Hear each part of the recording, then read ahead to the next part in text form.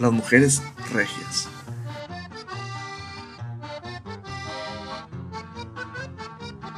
Son como, el cerro de la silla,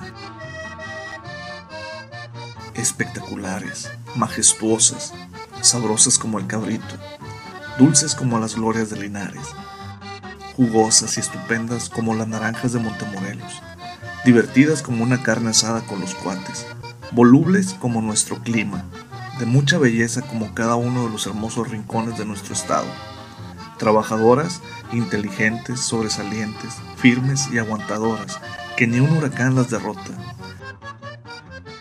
Así es una mujer regia.